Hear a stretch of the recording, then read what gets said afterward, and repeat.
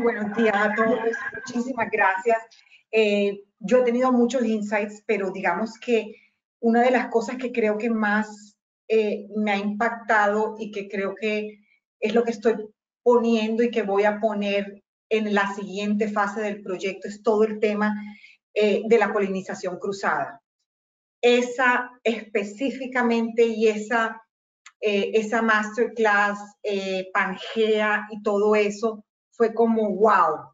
Es más, de hecho, hoy en la, en la reunión que estaba con el equipo de trabajo, eh, ya estaba preguntando por el link y me dijeron, quieta, acuérdate que me lo van a mandar al final del mes. Y yo, miércoles, es el que quiero ahora, porque de verdad, ese, en realidad, ese fue más que un insight, fue como, wow, todo el masterclass porque en realidad quiero ir pasito a pasito por cada uno de esos eh, ejemplos, de esos eh, conceptos, eh, porque todo en general me encantó de ahí, porque quiero como aplicarlo a todo, quiero ponerlo en práctica, quiero que todas las empresas de acá lo utilicemos, porque de verdad que solo nosotros no lo vamos a poder hacer. Creo que Barranquilla y el Atlántico tenemos tantas cosas de cultura, de gastronomía, de todo.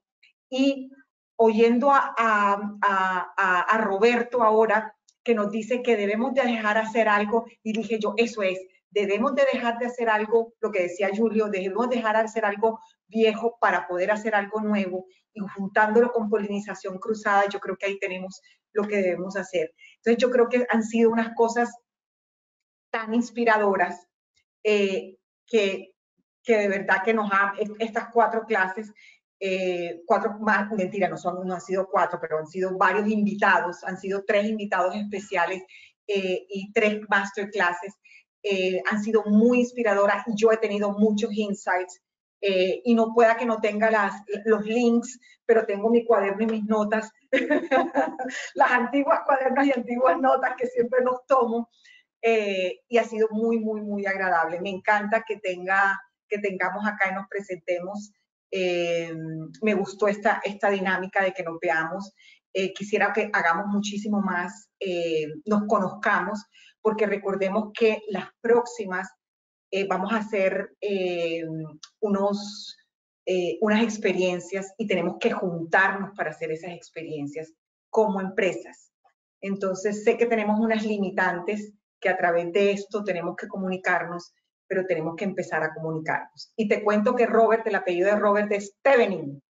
Robert Tevenin, porque se estaban preguntando cuál era el apellido. Robert es Robert Tevenin, que está siempre con nosotros y siempre está muy juicioso con nosotros.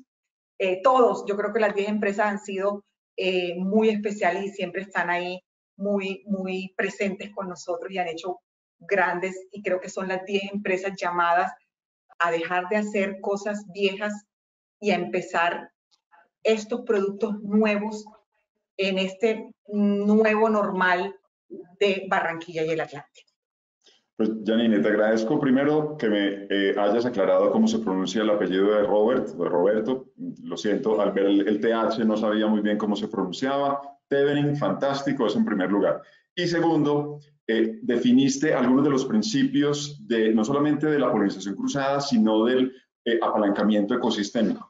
La importancia de conocernos, de entender qué hacemos nosotros, qué hacen los otros para poder articularnos. Eso es fundamental si queremos que nuestro ecosistema, en este caso, el ecosistema del sector TEN o el cluster TEN, como lo definen desde la Cámara de Comercio, crezca y se potencie. Así que te agradezco muchísimo tus insights. Antes de dar la palabra a Julio Toscani, quien ya se encuentra con nosotros y a quien saludamos, buenas tardes Julio, eh, voy a leer un par de insights que me compartieron por acá. Uno, Lina García, de Huevos y Escobas nos dice la certeza de que estamos conectados, las especies, la naturaleza y el planeta, todo lo que hacemos se convierte en una cadena. Fantástico, eso es, aparte de que es potente, es muy bello. Eh, voy a leer por aquí otros insights. Eh, Carolina Algarín, jefe de Mercadeo y Comunicaciones de Royal Films. Mi insight, la educación es reina. Lo hemos recordado. Aprender cada vez más de nuestras profesiones. Y un segundo que quiero leerlo completo. Un momento, por favor. Se me cortó. Oh, oh, oh, a ver. Ahora me volverá a aparecer seguramente. Mientras tanto, leo el de el insight de Emma Franco, lo importante que es contar una historia a través de una marca y aprovechar el recurso tecnológico para conocer a nuestros clientes y o usuarios. Debemos conocerlos a profundidad para ofrecerles lo que ellos están buscando. Sigo por acá. No debemos subestimarlos. Emma, muchísimas gracias. Sabemos que tuviste un problemita con el Internet, pero te agradecemos muchísimo que hayas, que hayas aportado a esta sesión de Insights. Y no siendo más, creo que ya es el momento de darle paso a Julio. Vamos a abrirle entonces eh, la cámara a Julio Toscani, quien se encuentra ya con nosotros. Eh, un momento, por favor. ¿Qué tal? Buenas tardes, ¿qué tal? Hola, hola. Sí. ¿Qué tal? Buenas tardes. Eh, desde, desde hace un par de horas que todo va muy lento con internet aquí. No sé si me podéis oír bien, porque el ordenador me recomienda de cerrar la cámara, porque hay una conexión muy mala. Ok, sí, hay un pequeño retraso, hay un pequeño retraso.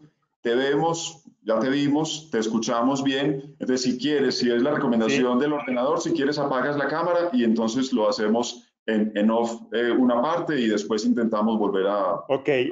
a reconectar la cámara. Ok.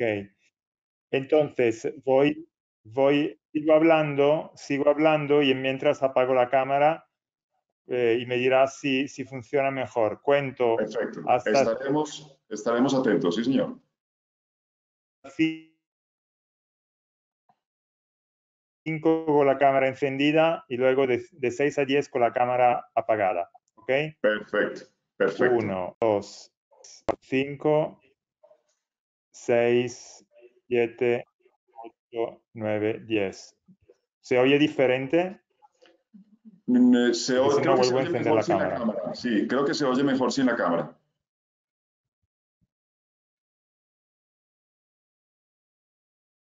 Ok. Ok, entonces luego vuelvo a encender la cámara o, en algunos momentos. No entiendo qué pasa. Muy bien, tranquilo. Ahí te escuchamos bien.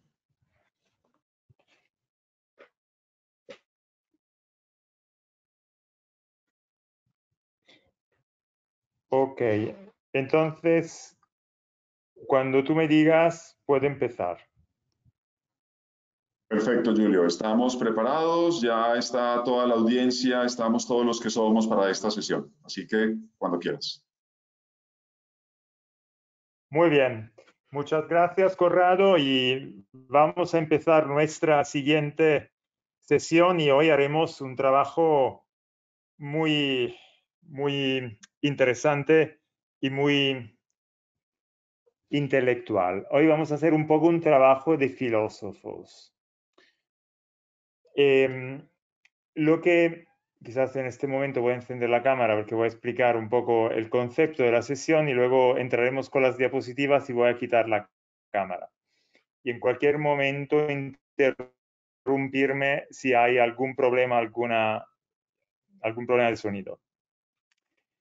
Hoy vamos a hacernos preguntas y lo que os recomiendo hacer y esto no os sorprendáis que en, en un tema digital hablemos de utilizar eh, papel y bolígrafo. Hay que tomar apuntes porque lo que hoy haremos será ver cuántas preguntas y cuáles preguntas hay que hacer a ti mismo para entender tu cliente. Entonces, en cada, cada diapositiva casi tendrá una o dos preguntas. O sea, estaremos hablando de 50 preguntas, cada una estructurada según una matriz. Habéis visto el Business Model Canvas y todos estos modelos tienen una parte de intentar analizar parte por parte el problema. Cada modelo es válido, cada modelo analiza con más detalle una parte u otra. Entonces, luego vosotros decidiréis ningún modelo es perfecto, ni este que os voy a enseñar ahora, ni los que habéis visto antes. Lo, el perfecto es el modelo que vosotros entendéis más y que podéis aplicar a vuestra situación. Entonces, yo hoy os daré más elementos, más preguntas para detectar cuál es la preferencia de vuestro cliente y darle el mejor servicio absoluto. Apago ahora la cámara y empezamos con las diapositivas. Entonces, el martes, hoy vamos a hacer el capstone. El capstone es el laboratorio. La vez pasada hemos hecho la estrategia digital, hemos explicado el modelo, hemos explicado la teoría, hemos hecho el teorema y hoy vamos a hacer los ejercicios. Voy a recordar dos o tres cosas de lo que hemos visto la vez pasada.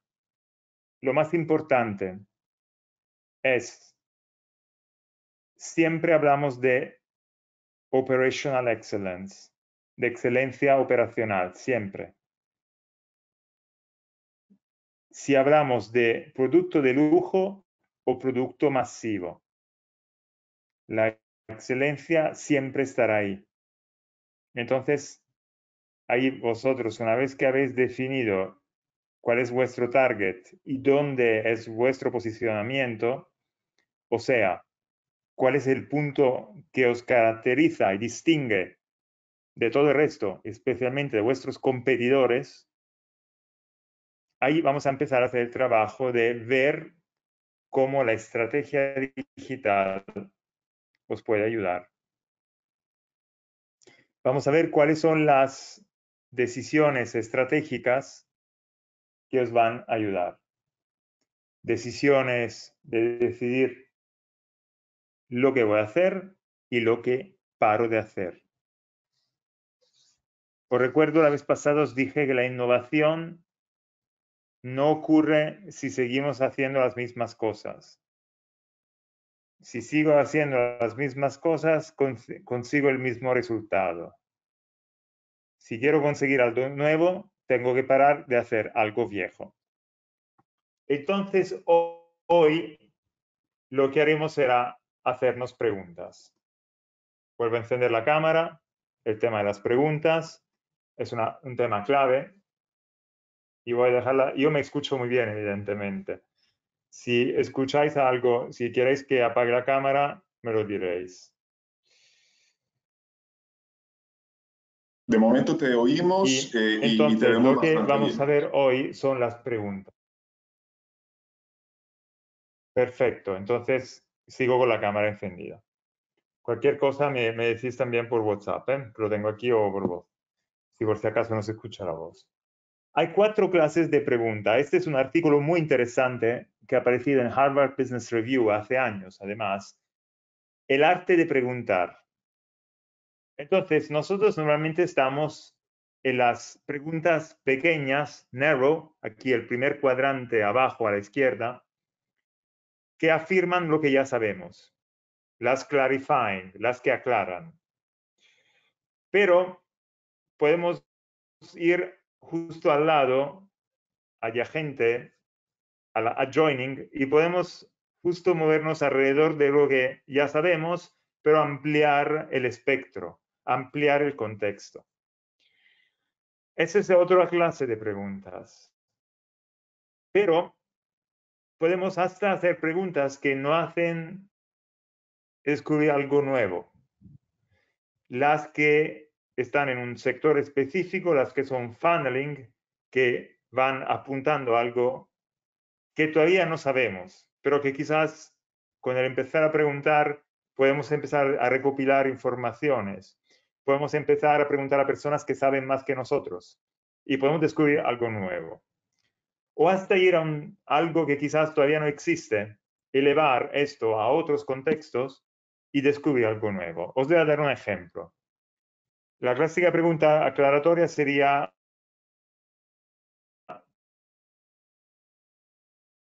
¿Por qué lo dices?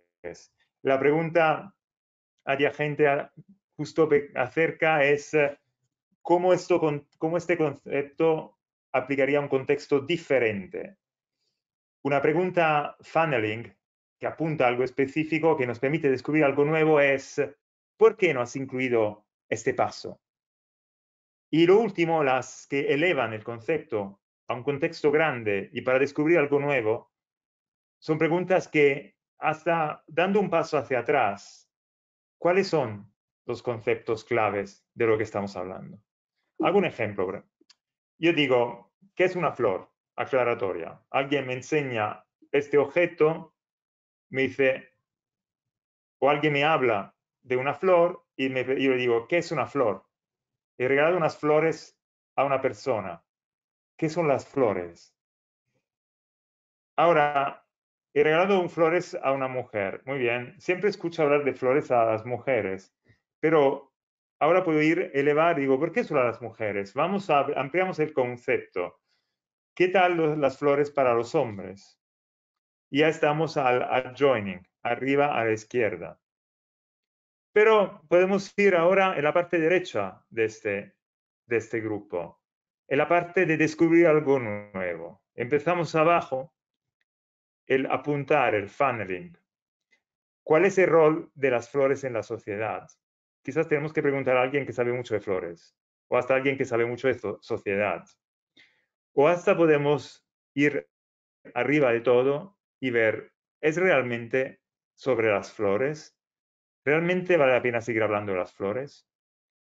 Entonces ahí veréis que a veces estamos empezando, llevamos años haciendo un negocio, llevamos 20 años con un restaurante, con un establecimiento o algo, y a lo mejor nos tenemos que dar cuenta que esto ya no es el concepto.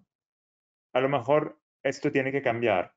A lo mejor tenemos un bar y ya no es el momento del bar. A lo, a lo mejor llevamos un hotel romántico y se transforma en un hostal de aventura. Entonces, todas estas preguntas os ayudarán a entender el concepto.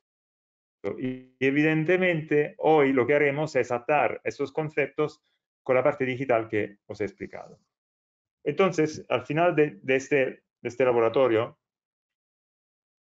veremos cómo anclar esta famosa pirámide STAR de sentir con los sensores, con las plataformas, o sea, dónde la gente llega a poner los datos, transmitirlos, analizarlos y luego responder en base a esto para el cliente.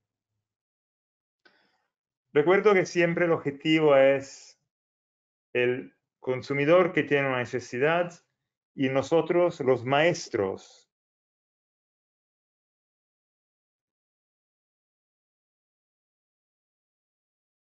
de la hostelería entender cuál es la necesidad. Y esto, que tenéis mucha experiencia, es vuestro trabajo, es vuestro sector, lo vais a ampliar con los datos.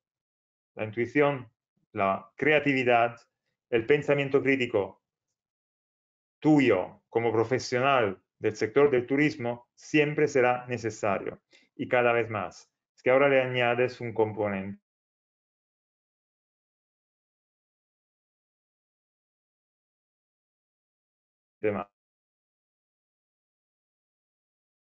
Más, que es la parte digital, que es el input de los datos. Julio, hola. Entonces, vamos a ver cómo esta iteración... Sí, eh, perdónanos. Eh, pues, creo que el, último pedacito se, escuchó, se escuchó un poco interrumpido. Sí, a lo mejor, a lo mejor apagas la cámara, que creo que sí, sí está bien para poder escucharte mejor. Y si puedes repetir la, última idea, te lo, te lo agradecemos mucho. Ok. Perfecto. Gracias. ¿De, ¿De esta última diapositiva o de la anterior? Sí, de esta espera que no te he entendido. De esta, ok, perfecto, ya, le, ya, ya he leído a Paula, perfecto, gracias. Entonces, aquí vamos a empezar la, la iteración, o sea, vuestra, vuestra experiencia de profesionales de la hostelería, vuestra creatividad, vuestra originalidad, vuestra intuición siempre va a ser clave. Ahora, a este que siempre va a ser clave, el elemento del ser humano, le vamos a añadir un elemento más que es el elemento de los datos.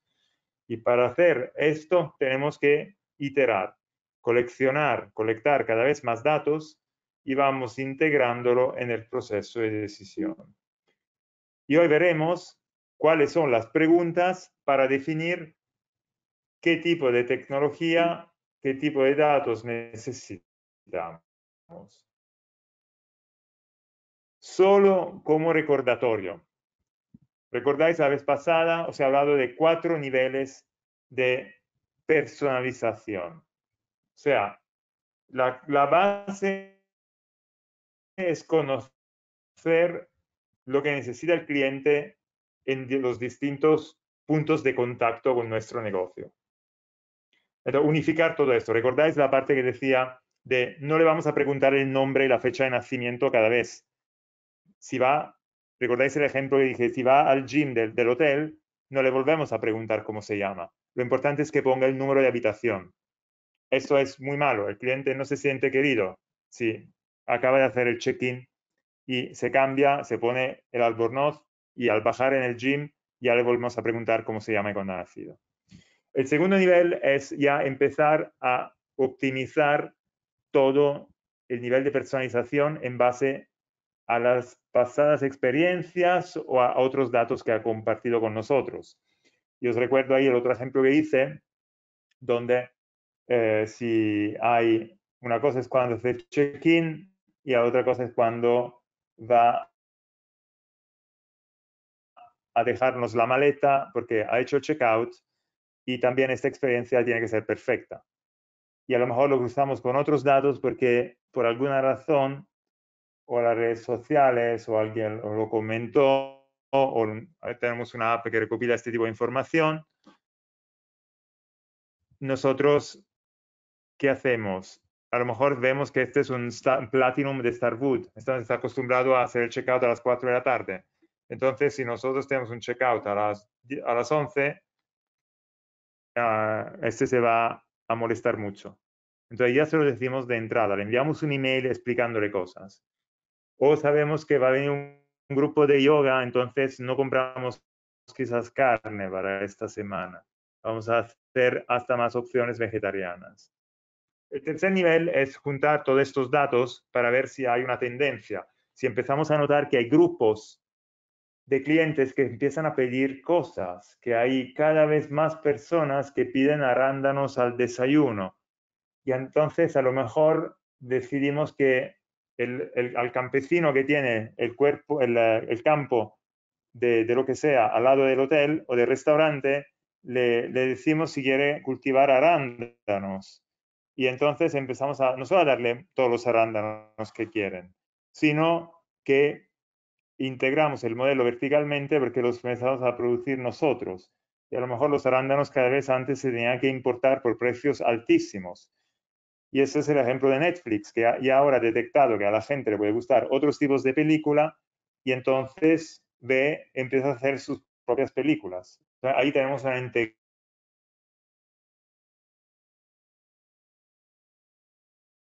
integración vertical. ¿Veis cuántos ejemplos, cuántas cosas tenemos que pensar y cuántas variables hay que hay? El objetivo es ser un cliente, una relación, con el anfitrión excelente para que confíe perfectamente con nosotros, de nosotros. Yo recuerdo que confiar ahora quiere decir almacenar sus datos y guardarlos bien, porque una brecha digital, cuando roban los datos, es lo peor que puede ocurrir ahora. Entonces, lo que vamos a ver hoy es eh, hacer todas las preguntas para decidir cuál es el camino, la ruta que hace el cliente y a partir de ahí decidir qué tipo de decisiones vamos a tomar, qué tipo de tecnología necesitamos. Porque si alguien, en el momento en que habréis hecho este curso, habréis recibido tantos inputs por todos los fantásticos panelistas que habéis tenido, entonces, evidentemente, a partir de ahí tenéis que llegar a algo concreto de cada uno de nosotros habéis sacado algún tipo de concepto y lo tendréis que poner en práctica. Y sabéis muy bien que esto no lo podéis hacer. No podéis poner en práctica todo lo que hemos dicho. Tenéis que elegir, especialmente por el coste. Entonces, en base a todos estos conceptos, cuando alguien, algún consultor, algún proveedor de servicios digitales os vendrán a ofrecer cosas, ya sabréis qué preguntas hacerle. Si os dirán que quiere una web, también le diréis si tienen servicios de inteligencia artificial, de buscar patrones, si tienen apps para recopilar más datos y todo, todo eso.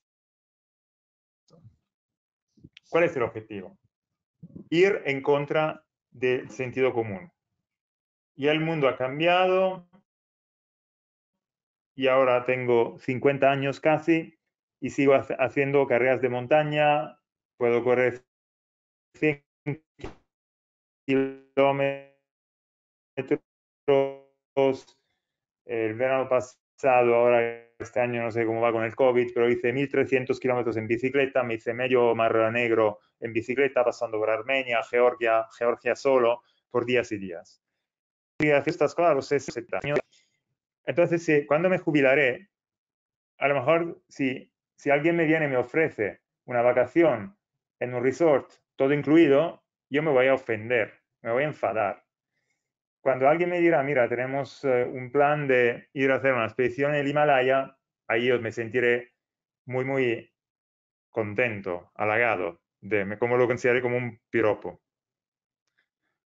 Ahí es cuando con los datos le vais a dar justo lo que necesita el anfitrión o la anfitriona.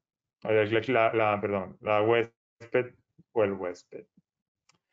Entonces, ha llegado el momento de sacar papel y penna, como decimos en italiano, el bolígrafo, el lapicero, bolígrafo aquí a, la española, y vamos a empezar a ver cómo hacer el mapeo de la ruta del cliente a través de una de sus experiencias. ¿Ok?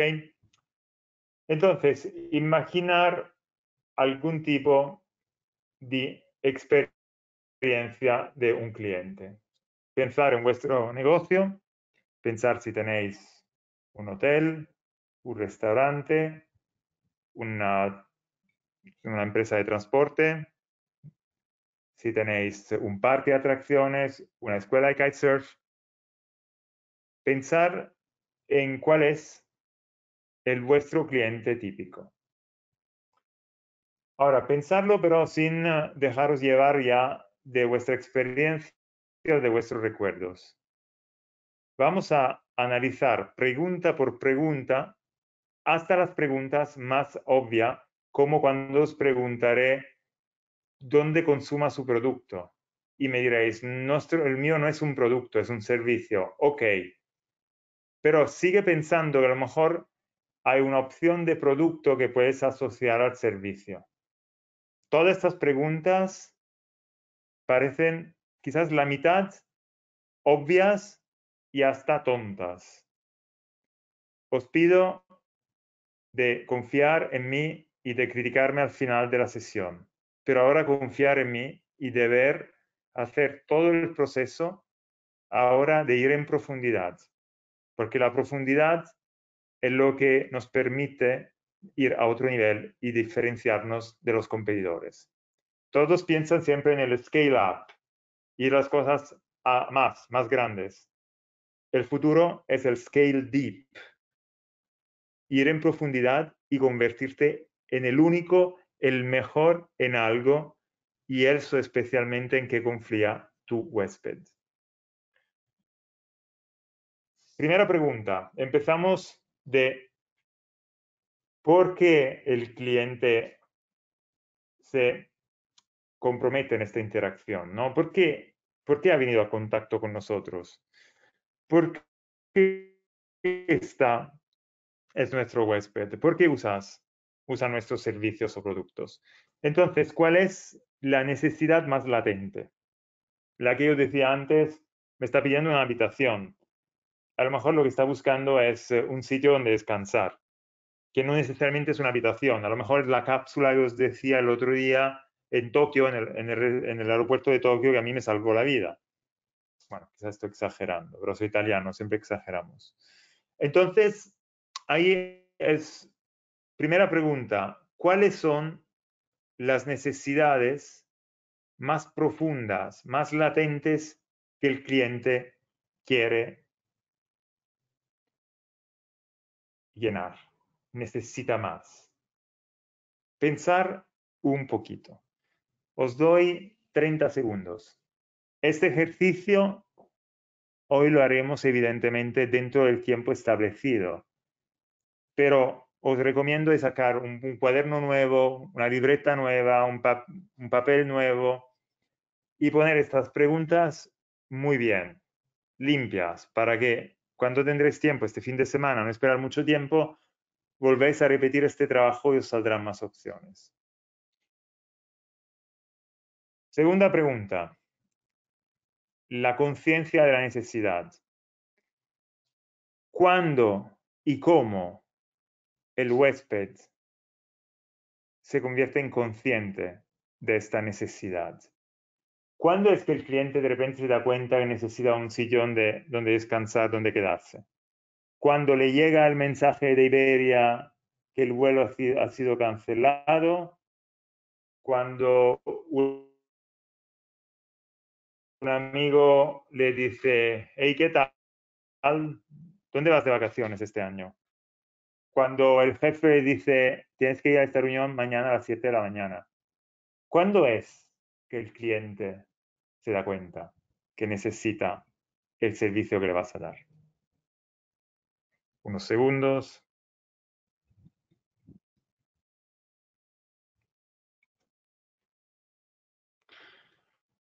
Vamos ahora al otro apartado. Cómo el cliente empieza a identificar, reservar, pagar para esta opción. Entonces, la pregunta uno es, ¿cómo el cliente busca una opción para satisfacer la necesidad? Entonces, se ha anulado el vuelo, el jefe le ha dicho, el amigo le ha preguntado. Ahora, ¿cuál es el paso? Va a internet, llama a su mamá, abre un libro, busca la Lonely Planet.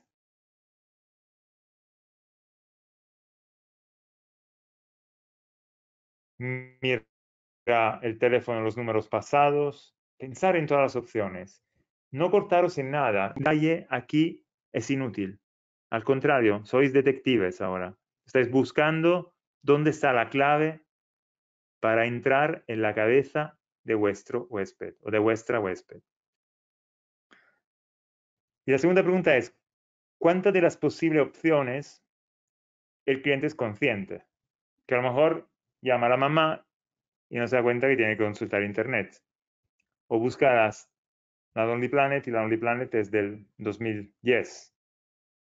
Pero está acostumbrado a utilizar la Lonely Planet. O va en una web que ya no está muy bien y no se dado cuenta que hay web que, que funcionan mejores que esta. Pensar en todas estas opciones. Y paso a la siguiente. No os preocupéis si voy rápido. Voy rápido hoy para cumplir con el tiempo establecido. Y si tenéis preguntas, me podéis hacer preguntas en cualquier momento. Eso, ese es un laboratorio, no es teoría. También la teoría se van a hacer preguntas, pero hoy es el, el, día de las preguntas. Si os hago muchas preguntas, vosotros me podéis hacer también muchas preguntas. Entonces, pasamos a la decisión. Ha buscado y ahora ha decidido. ¿Cuál es la pregunta aquí? La pregunta es, ¿cómo decide? en la opción. Una cosa es empezar a elegir, a, a buscar opciones. Y otra cosa es decidir cuál de las opciones hay. ¿Quién está involucrado? Es otro tema. ¿Conocéis vuestro cliente? ¿Quién más está involucrado? ¿Cómo podéis imaginar? Ay, Julio, no lo sé quién puede estar involucrado. Muy bien empezamos a pensar entonces a nivel digital si esto puede ayudar. A lo mejor digital tampoco puede hacer milagros, pero nosotros pensamos, quizás nunca habíamos pensado que alguien más podría estar involucrado y ahora lo sabemos. Entonces, esta es una información muy útil que nos puede marcar y ayudar a cambiar las cosas.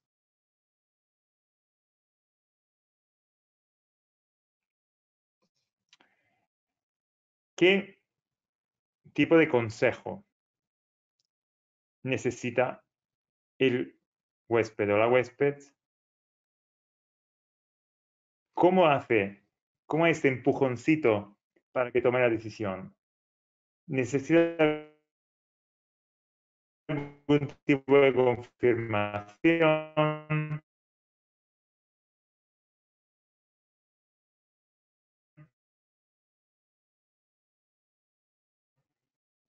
que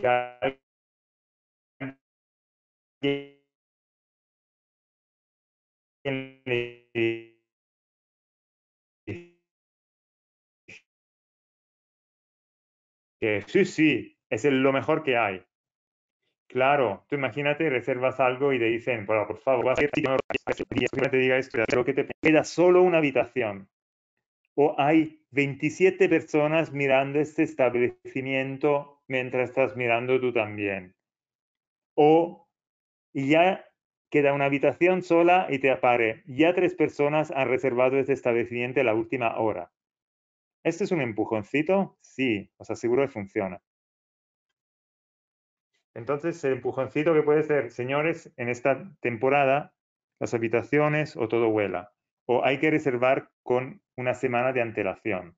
Claramente, ¿cuál es el problema? Que a lo mejor, si la gente, tu target es gente que improvisa, te pierdes todo tu cliente. Pero vamos a buscar las informaciones.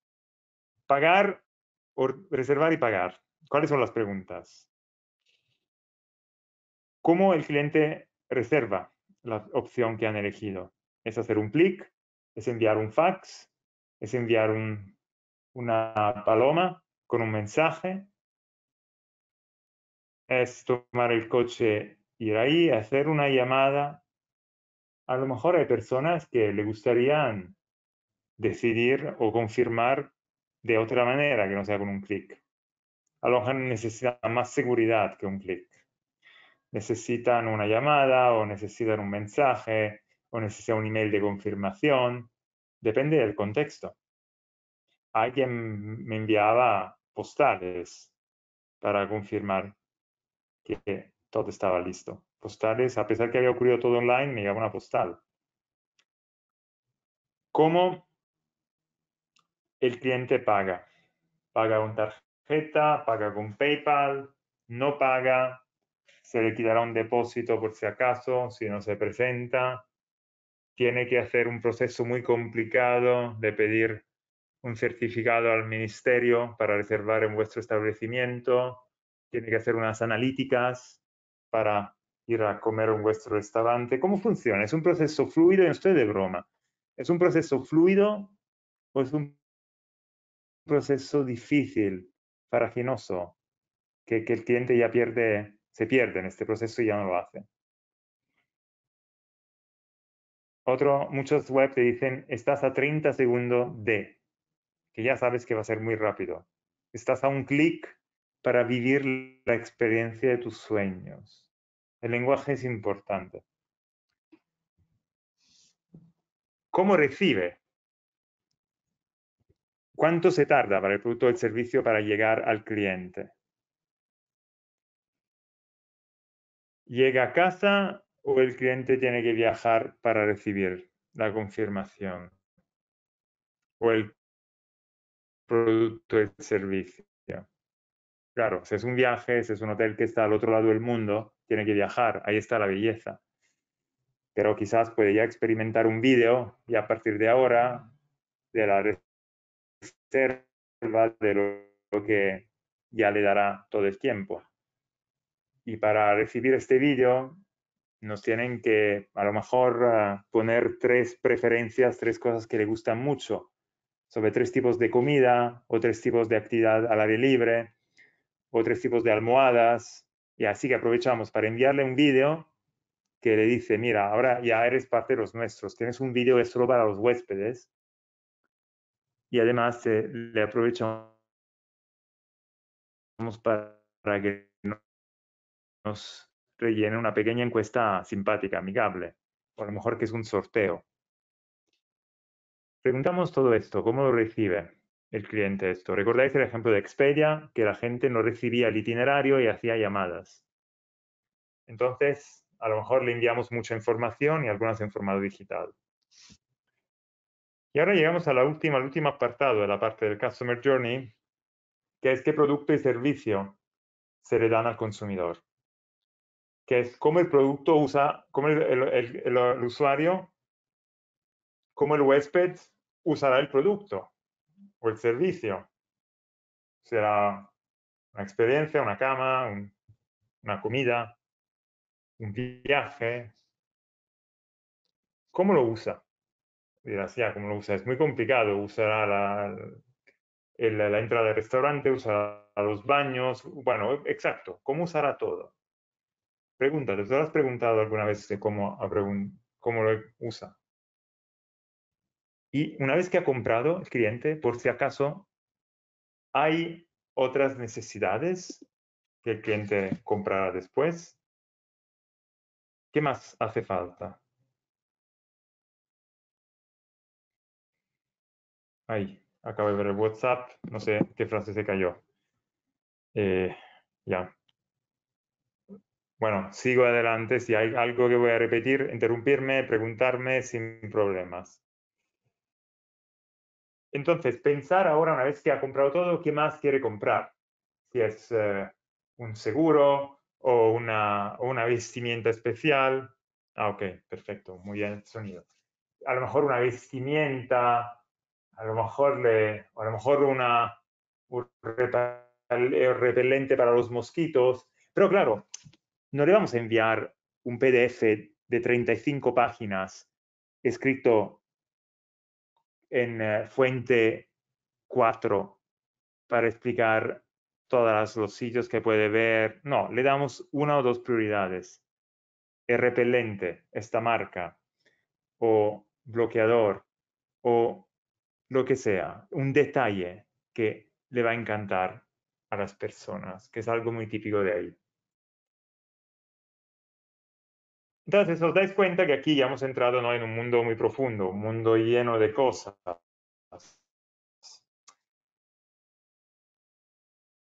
Es cómo el cliente entra en contacto con nosotros. Por muchos años, la jerarquía de los efectos era, primero te conozco, eran tres puntos. Primero te conozco, luego empiezo a sentir emociones para ti y luego decido comprarte.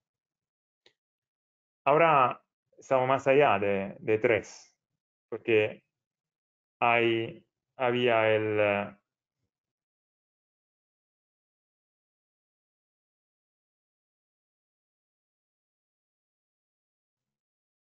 Al primer momento de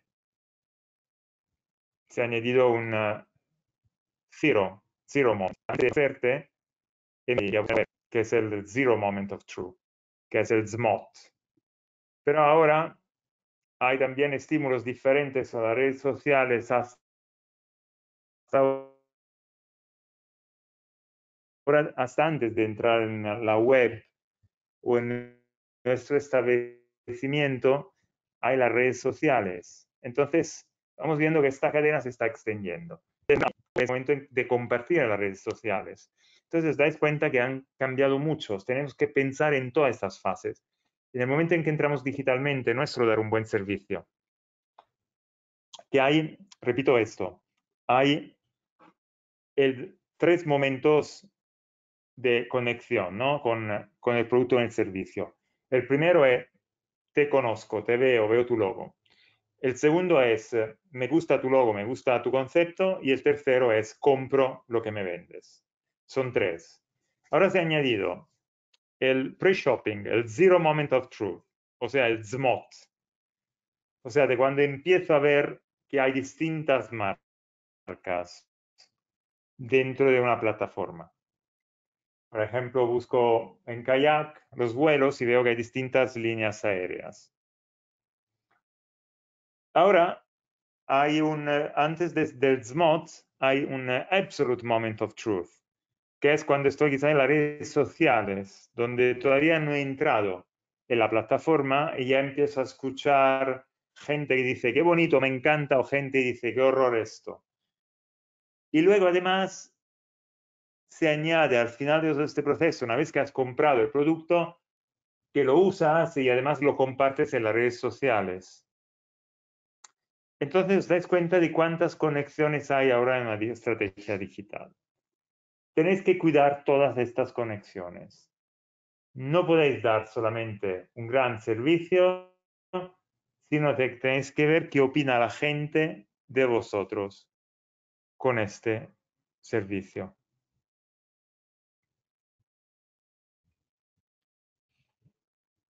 Entonces, vamos ahora a empezar a ver el deseo de comprar del cliente. Vamos a ver las distintas fases. Ahora vengo con más preguntas. Ahora hemos hecho la ruta, el camino. Espero que ya habéis encontrado interesantes estas preguntas y ahora vamos a hacer más, más preguntas. O sea, en el momento en que voy a repetir los distintos puntos para ver ahora en una clave de quizás eh, negativa, de, de, dolor, ¿no? Y vamos a ver la, el deseo de pagar que hay en este caso.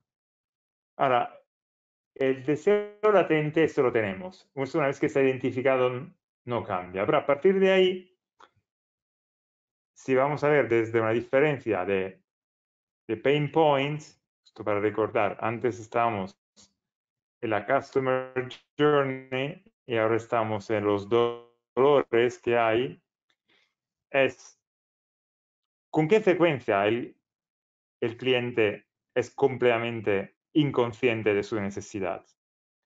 Porque a lo mejor, una vez que hemos descubierto que hay un deseo latente, pero nos damos cuenta que el cliente no se da cuenta que tiene este deseo latente, esta es una información muy útil. Tenemos que hacer algo al respecto. O a lo mejor tenemos que rendirnos que a pesar, a pesar que el cliente está en mala salud, come mal, fuma y bebe, pero sigue pidiendo fritangas, comida pesada, más alcohol y más cigarrillos.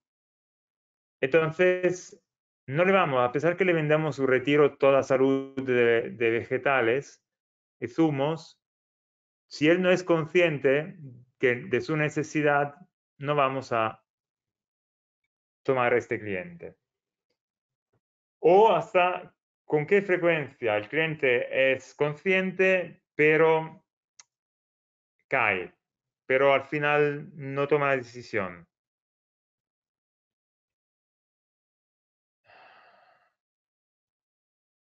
¿Cómo es que no toma decisión? ¿Cuál es el proceso? ¿Hay algo entonces? ¿Hay algo entonces que podemos hacer? Es una información, a lo mejor no podemos hacer nada. Aquí yo os estoy dando puntos de reflexión, muchos. Y no es que hay aquí la varilla mágica. A lo mejor no se puede hacer nada. Opciones. ¿Con qué frecuencia el cliente identifica? ¿Cómo el cliente identifica las opciones que pueden satisfacer sus necesidades? ¿Y cuánto tiempo necesitan emplear para la búsqueda? Ahí esto podría ser un punto de dolor, porque si es demasiado difícil, el cliente, a pesar la cosa a ser muy, muy difícil. Entonces hay que mejorar también el tiempo de espera. Tenemos que hacer que el proceso sea fácil, que la web, el diseño digital de la web, que las, los banners, que todo permita esta facilidad. Porque hasta el cliente con mejor motivación puede caer.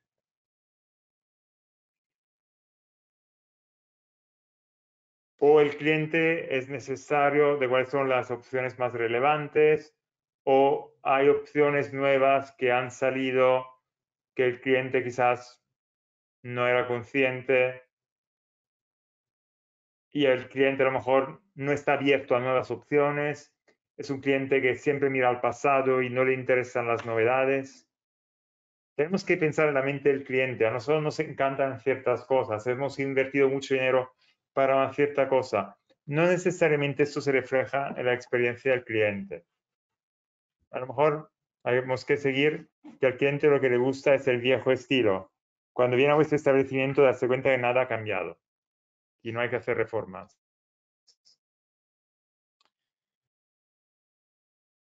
Además del precio, ¿cuáles son las opciones que permiten el cliente decidir? Y es fácil, además del precio, ¿no? Es fácil considerar estas otras opciones, como, no sé, facilidad, cercanía, gran experiencia, salud, sostenibilidad, diversión para los niños, o es un trabajo de detective llegar a ver esto. Otra pregunta. ¿No? Recordar. ¿Necesita el cliente mirar otros? Buscar soporte para tomar la decisión, mirar otras webs, reputación. ¿Cuánto juega aquí la confianza en tomar la decisión? Hay confianza ahí y aquí volvemos al tema de la confianza. Otras preguntas, siempre sobre el tema de decidir para las opciones, es un punto clave. ¿Cuánto esfuerzo requiere al cliente para darse cuenta que esta es la mejor opción? ¿O cuánto le cuesta al cliente decidir cuánto cuesta todo, no? Hay muchos que ahora piden el precio total, no tienen miedo a enseñar el precio total. Algunos te ponen precio sin IVA o precio sin impuestos y la gente agradece mucho que tú le dices, esto es el precio total, incluye los impuestos, el, via, el VAT, la IVA, los gastos de, de traslado, todo. Esto es el precio total y hasta algunos te ofrecen el desglose para que tú estés seguro que no hay excusas, a pesar que te siguen ofreciendo otras opciones. Y ahora recordar, ¿cuánto es fácil pagar o cuánto es doloroso pagar? Ahora estamos en la parte del dolor. ¿Cuánto es fácil pagar? ¿Cuántas formas de pago están aceptadas? ¿Están todas las tarjetas aceptadas o solo la Visa o solo las tarjetas de débito? O si uso una de crédito, me cobráis más. Y si uso una American Express, me cobráis más aún. O si tengo PayPal, lo aceptáis o sea, uso Bizum, que es en España grabar con el teléfono, está bien. ¿Cuánto, una vez que el cliente sabe lo que está buscando, necesita para ordenar? ¿Cuánto tiempo necesita para tener el servicio o el producto? Es fácil entender dónde y cuándo el cliente, el producto, se, el servicio se dará. Por ejemplo, a qué hora es el check-in, a qué hora es la reserva, cuánto tiempo se tarda para llegar ahí. Todo es fácil, todo se ha explicado de una forma simpática. Hola, hay que leer el famoso PDF 35 páginas con una fuente número 4 para entender dónde tengo que ir, para tener esta cena o hacer esta vacación. Es fácil recibirlo, me llega un email que se puede leer, me llega además un SMS, me llega además un WhatsApp, me diga algo que puedo poner en Apple Wallet con una tarjeta de embarque, cuánto se tarda en recibir esto, cuánto tengo que esperar antes de recibirlo, qué pasa si no estoy en casa.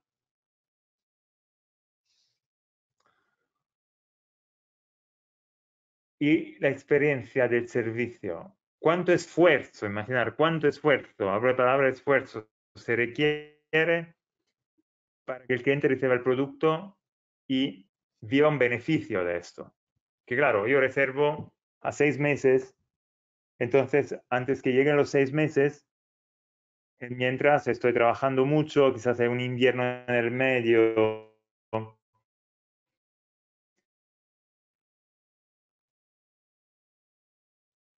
y a lo mejor algún beneficio ya se lo puedo dar pronto.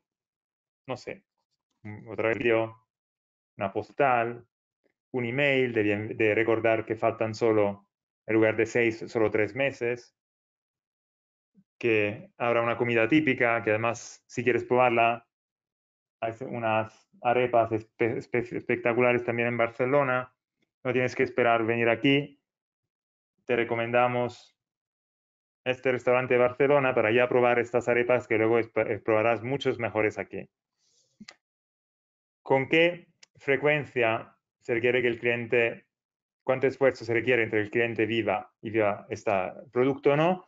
O qué eh, cosas técnicas, características técnicas del producto del servicio el cliente pueda ayudar a fortalecer su deseo de pagar. el diseño digital de la web, o cosas de este tipo. Hay algo de intangible también en esta experiencia que el cliente puede vivir, como la marca, el diseño, para que pueda mejorar su deseo de, pagar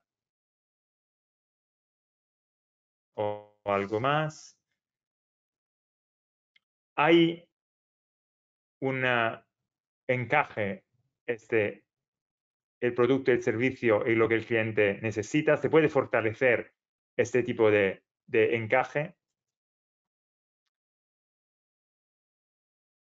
Y además, otra pregunta, ¿lo que le vamos a dar al cliente está en, la cantidad correcta o es demasiado o es demasiado poco?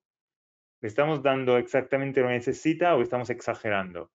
¿O nos estamos pasando para ser un poco tacaños? Y a lo mejor este cliente, como hacía el ejemplo de la arepa, nos da otros accesos a otras cosas.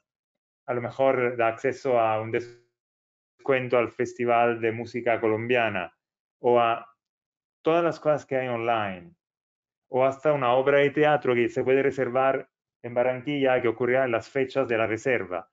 Ahí es cuando empezamos a ver todo está conectado, entonces cuando no hace falta ni ir a buscar en un calendario, porque el sistema ya te lo recomienda te dice, en tus fechas de alojamiento habrá estos eventos. Entonces ahí donde hay una alianza entre el ayuntamiento de Barranquilla y los, y los establecimientos donde hay todos los datos en el mismo formato para que en el momento en que un cliente reserve ya le aparen todos los eventos que hay. Y a lo mejor eso no está disponible ahora. Pero si hacéis un trabajo en conjunto, empezaréis a utilizar todo el mismo software, todos los datos fluirán de la misma manera, todos los datos se incluirán en el mismo formato y entonces todos podrán disfrutar de los mismos datos.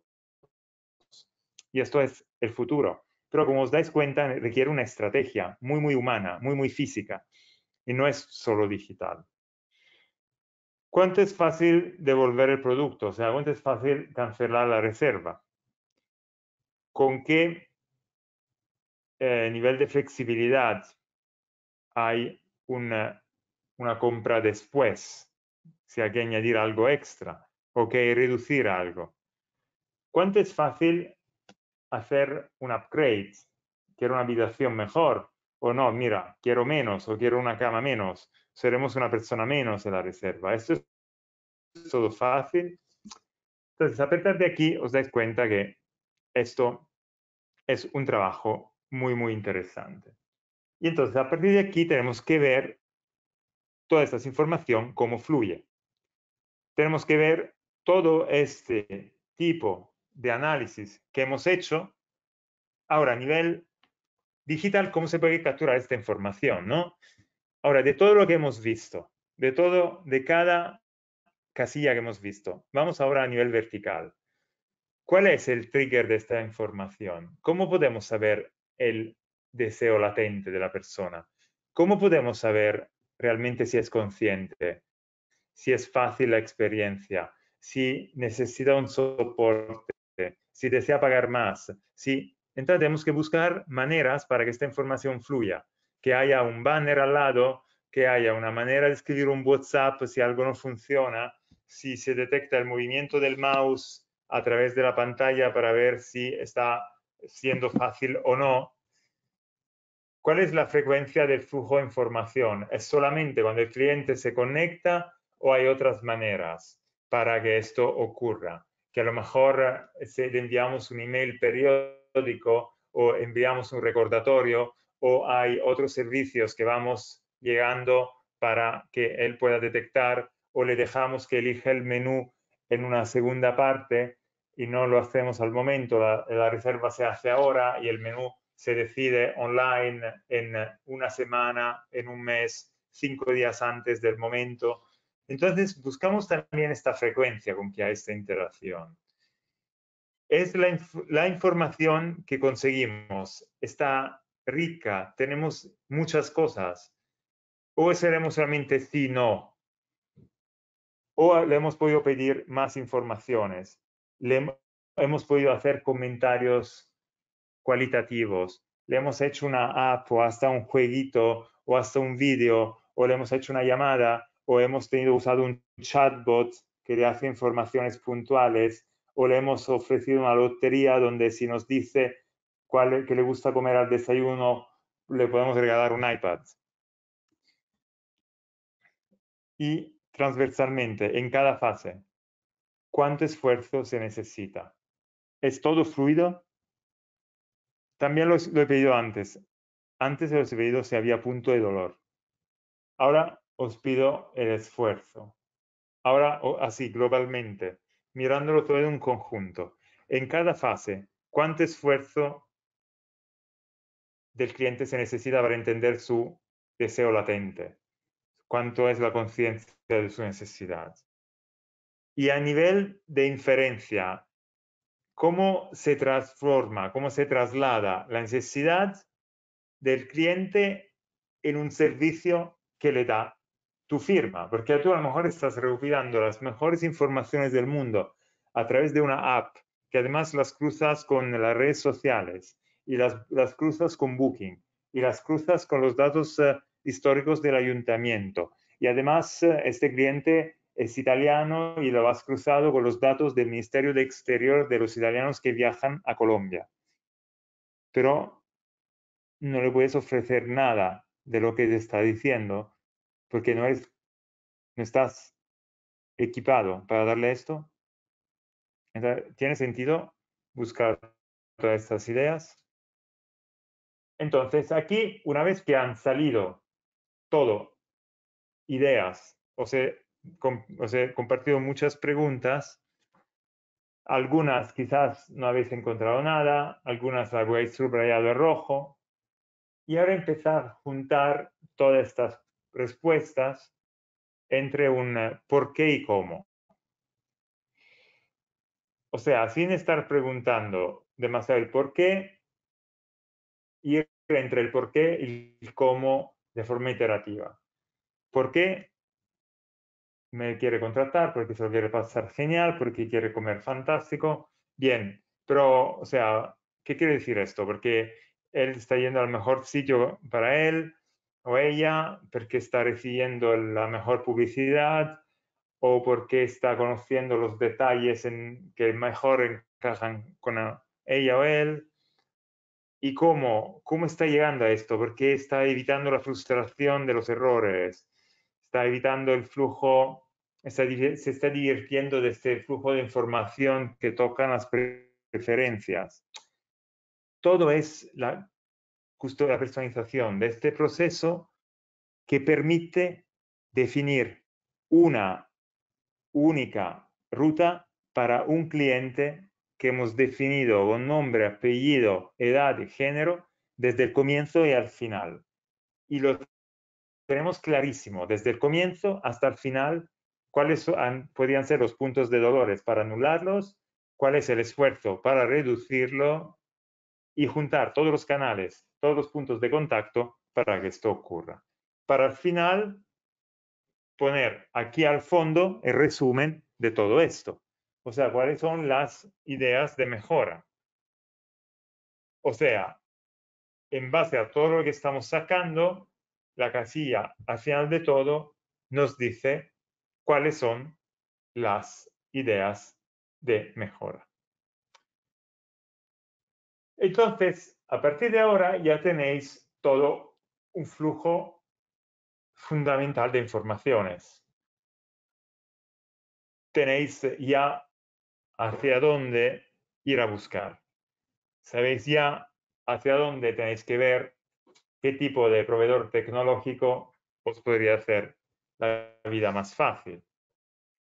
Y algún día, cuando habrá más tiempo, podéis pensar en todo una matriz completa a nivel digital, a nivel de detectar las necesidades, identificar las respuestas, responder a esto, repetir, ver cuál es la arquitectura de la conexión y especialmente ver cuál es el modelo de, de beneficios de todo esto. Esto es un trabajo de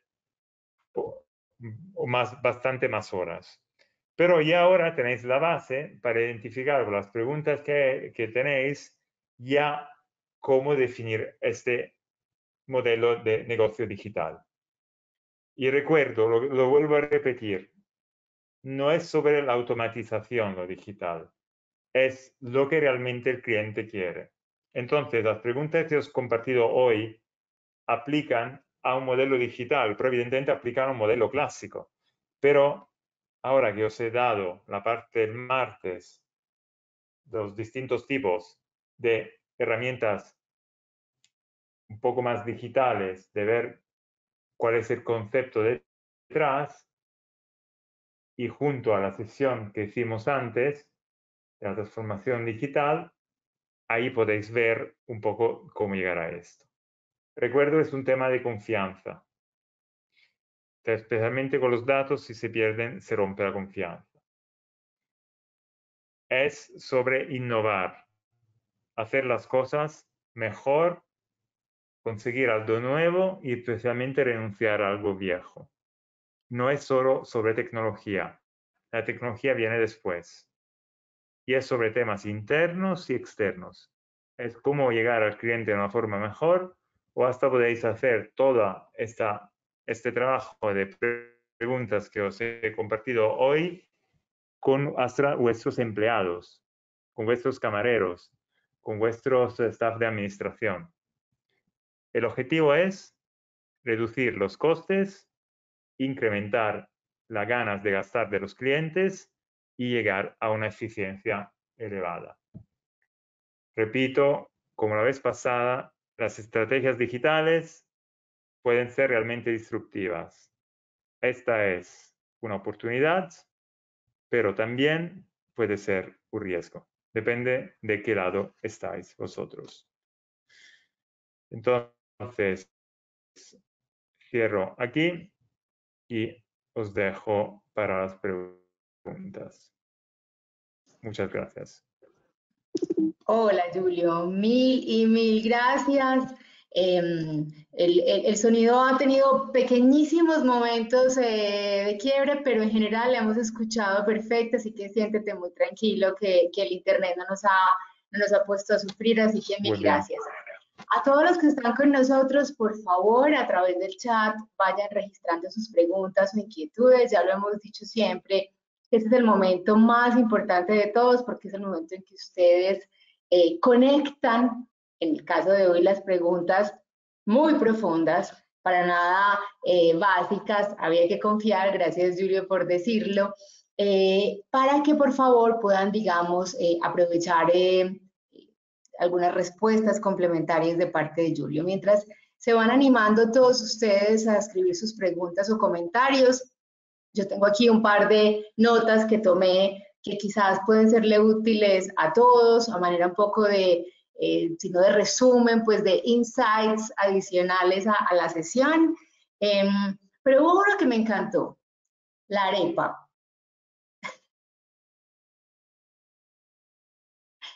Y me gustó que mencionases el tema, Julio, de la arepa, primero porque demuestra cuánto conoces América Latina. Julio, además de un viajero, es un enamorado de estas tierras, ha tenido un lazo muy profundo con varios de los países de este continente. Y además, porque, y no es broma, por supuesto que ya desde lo emocional diría que Me hiciste pensar, Julio, en una arepa que se come en Barranquilla, que es deliciosa, que es de anís. Yo por una arepa de anís daría mi vida en este momento. Soy una enamorada de, de Barranquilla y de su gastronomía. Pero además, y cito lo de la arepa, que no es un asunto frívolo, pero un asunto importante, y es cuán poco cuidamos la experiencia del viaje antes y después.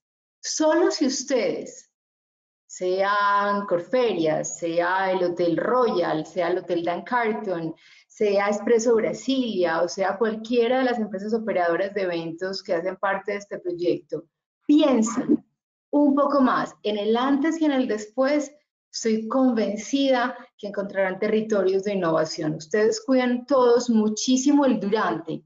El viajero llega, se chequea, la habitación, la limpieza, la bioseguridad, el desayuno, la sonrisa, el saludo, pero el antes y el después es un territorio que yo creo que podemos todos trabajar mucho más. Entonces, ese ejemplo de la arepa que citaba Julio, de antes de viajar, ¿qué tal si me dicen, estás a tres meses de viajar de Barcelona a Barranquilla? ¿Sabías que existen estos restaurantes en tu ciudad que pueden irte introduciendo en la gastronomía de Barranquilla? Quizás podrías escuchar este playlist para que te vayas conectando con lo que pasa en esta ciudad. ¿Sabías que hay un carnaval que sucede en la ciudad y que a lo mejor tu viaje no coincide, pero podrás visitar el Museo del Carnaval o ir a Barrio Abajo, etcétera. Son esas cosas, por ejemplo, las que yo extraño como una viajera constante. No quiero solo que me digan que es lo usual que recibes, que si quieres alquilar un coche para movilizarte. Quisiera un poco más de contenido, un poco más, digamos, de lo que decía Julio, no hay que ser el más grande, pero sí el más profundo. Y al tiempo, quisiera que, y eso me gustó muchísimo, nos quedemos con otra reflexión de Julio y es cómo cuidar la experiencia después del viaje. Parece que apenas nos despedimos del hotel, nos despedimos de la aerolínea, salimos del evento, pues a lo mejor nos llega un correo de evaluación y poco más, pero no suceden más cosas. ¿Qué tal si un mes después, tres meses después, hola Julio, te escuchamos, ¿me escuchas? Sí, ahora sí, ahora sí, he vuelto a conectarme ahora, lo siento. Está maravilloso. Yo estaba utilizando la metáfora de la arepa, si te parece, para invitar a los empresarios que nos escuchan a revisar más. ¿Cómo? Sí, sí, esto, esto lo escuché, me encantó, me encantó que te gustó y cuidar más la experiencia después del viaje. Qué maravilla que tres meses después de que me alojé en determinado hotel en Barranquilla o me movilicé en Expreso Brasilia, que es una empresa participante del proyecto, o asistí a un evento organizado por alguno de los organizadores de eventos, a lo mejor no como em, la que lo contrató, sino como un asistente. Y tres meses después me llega una comunicación donde recuerdan lo bien que la pasamos, y me dicen, ¿y ahora qué sigue? ¿Cómo podemos seguirte acompañando? Pues sería valioso. Julio, tenemos aquí ya una primer pregunta. Eh, espero que me escuches. Esta viene de parte de Sandra Eugenia Gómez Dueñas. Sandra dice, hola, recomiéndanos por favor hacia dónde enfocar el diseño de la experiencia del cliente en un servicio que satisfaga necesidad básica del usuario. Por ejemplo, los servicios públicos, el transporte, eh, no de ocio. Eh, espérate, termino de leer la pregunta. Eh, muy bien. Entonces, repito, recomiéndanos por favor hacia dónde enfocar el diseño de la experiencia del cliente en un servicio que satisfaga una necesidad básica del usuario, por ejemplo, los servicios públicos o, por ejemplo, el transporte que no es de ocio. Bien, aprovecho justo para hacer, eh, y, gracias por, hacer esta pregunta, porque esta es una de las grandes eh, dudas de, la, de las preguntas que siempre, incluido yo mismo cuando, cuando empecé a acercarme a este tema, hice. Y, y es siempre una de las grandes dudas. Hay que aprovechar para salir de este, este pensamiento de empezar a, considerar todo como siempre ha sido. Y al contrario, hacer este trabajo que os he recomendado de hacer responder a todas aquellas preguntas. Porque las respuestas de aquellas preguntas te contestarán mucho mejor de lo que yo, aunque fuera el mejor experto de turismo, que no lo soy, te podría dar, porque yo te daría mi experiencia. Mientras ahora lo que he compartido con vosotros es una técnica para que podáis personalizar la respuesta mejor que un experto exactamente a vuestro caso. Clarísimo. Eh, de hecho, ahorita al final, eh, Julio, le comentaremos a todos los participantes del proyecto lo que sucederá con las preguntas que nos has dejado, que por supuesto se convierten, como lo decía Conrado al principio, en una capa más que vamos poniendo en este proceso de evolución compartida. Tenemos ahora, Julio, una pregunta de Roberto Gómez.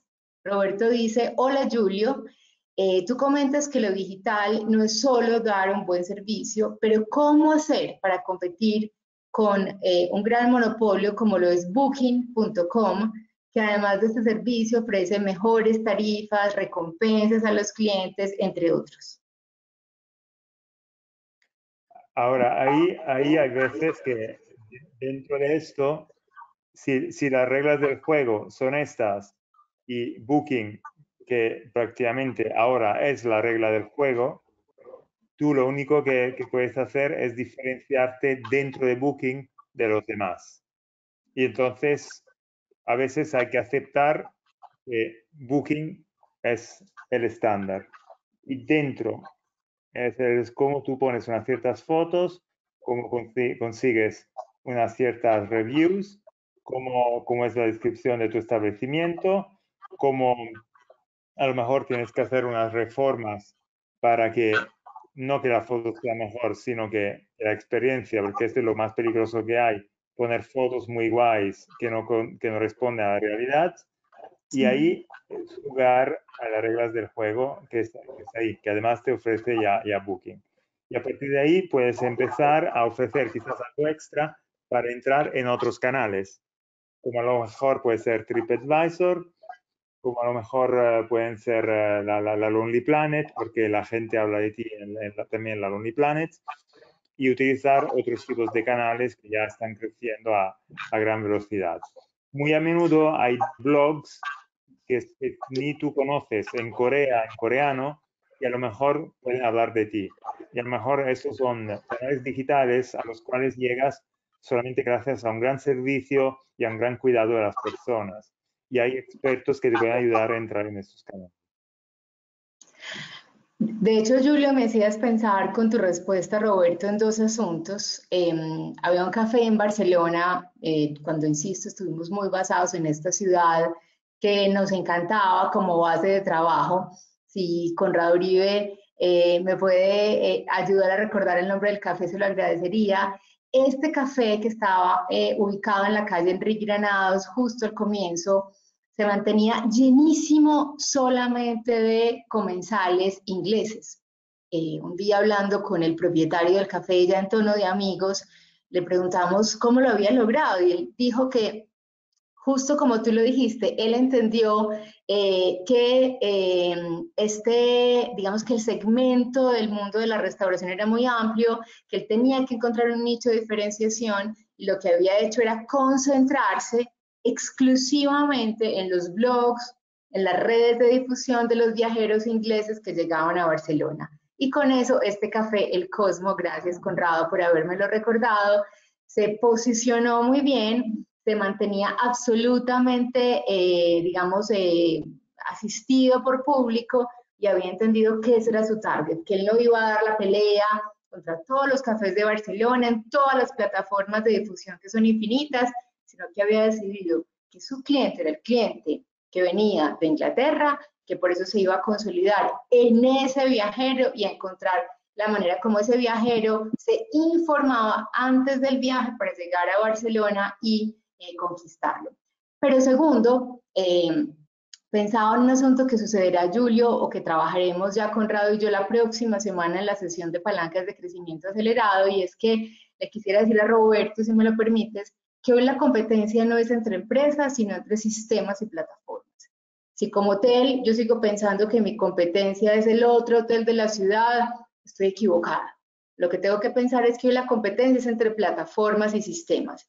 Si a lo mejor un modelo como Booking, eh, digamos que está jugando un poco a canibalizar el modelo, pues tengo que o encontrar otros esquemas, otras plataformas de difusión más afines a mí o crearlas. Y eso es actitud ecosistémica. Yo, por ejemplo, de manera particular, hace tiempo decidí que booking.com no era el formato de selección de mis hoteles, yo prefiero otros modelos y me he concentrado en plataformas como Tablet Hotels o Great Small Hotels y esa es la plataforma que utilizo. Y estoy convencida que allí finalmente podría haber territorio para muchos de los hoteles que hacen parte de Barranquilla, que en vez de ser parte de este universo infinito que tienen los grandes jugadores como booking.com, pues es mejor hacer parte de una plataforma más pequeña, más de nicho, más seleccionada y más curada. Pero igual, eso lo seguiremos trabajando, Roberto. El próximo martes te esperamos para que lo trabajemos en conjunto. Si tienen más preguntas o comentarios, por favor, escríbanlas a través del chat. Es importante que aprovechen a Julio, todos ustedes. Hubo un par de cosas que dijiste, Julio, que quiero mencionar mientras nos llegan más preguntas, que fueron muy potentes. Em, una, que además tiene todo que ver con la existencia de un clúster como el Cluster 10, y es que aludiste siempre a un trabajo más ecosistémico. Si yo como hotel sigo trabajando solo, pues la oferta que le daré al viajero será poca. Pero tú, por ejemplo, todo el tiempo decías qué restaurante le voy a, a mencionar, y no un listado infinito, qué restaurante, qué mecanismo de transporte, ¿Qué opciones? Uno, dos, no 35 páginas en tipo de letra 4, lo mencionaste varias veces. Eso es actitud ecosistémica, eso es un clúster, eso ojalá es lo que estoy convencida que Janine, María Carolina y Daniel sueñan que pase con las 10 empresas que hacen parte de este proyecto y es que se enroquen de una manera que se complementen, que no se vean como competencia, sino que se vean efectivamente como el complemento ideal. Si mientras van llegando más preguntas, nos hiciste, Julio, caer en cuenta que lo importante no es ser el más grande, sino ser el más profundo, el que va más a fondo, y conectaste muy bien con uno de los insights que justo al inicio de la sesión de uno de los participantes que lo había impactado muchísimo y hoy lo recalcaste todo el tiempo, y es la importancia de conocer más y de manera más profunda a nuestro consumidor. Cuanto mejor lo conozcamos, mejores oportunidades de valor podremos ofrecerle. Y por último, este es mi último comentario para ver si hay más preguntas de los participantes. Insististe en unificar la experiencia del cliente, en mejorar la customización, la personalización, buscar qué tendencias hay en esos datos que voy encontrando. Mencionaste el caso de los arándanos, por ejemplo, y cómo tomo decisiones al respecto.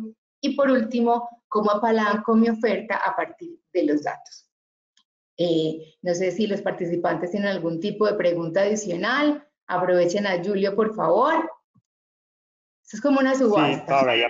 Sí, aprovecho para añadir una cosa de lo que acabas de mencionar del cluster, que el ejemplo, siendo italiano, el ejemplo que nosotros tenemos en Lombardía, alrededor de Milán, en, eh, alrededor de, en Italia, alrededor de la parte de Módena, donde hay Ferrari, Lamborghini, Ferrari, Lamborghini, Maserati, y en Venecia, donde hay todo el cluster de las, uh, de las industrias también de la de fashion, como Benetton, Diesel. Estos son, son todos grupos que han sido por décadas de pequeñas y medianas empresas, donde cada uno hacía una pieza. Entonces, pero trabajaban en una perfecta armonía compartían servicios donde el abogado de una era también el abogado de otra, el gestor de cuentas era también el gestor de otra, y eh, cada uno hacía su parte. Y si tenían que competir, competían, pero todas tenían la misma, el mismo objetivo, que era de traer riqueza a su región. Maravilloso que lo ha citado Julio, porque antes del COVID, después del COVID o sin COVID, ese tendría que ser y sin duda es el gran objetivo del clúster, cómo traer riqueza riqueza simbólica, riqueza económica a la ciudad de Barranquilla y del Atlántico.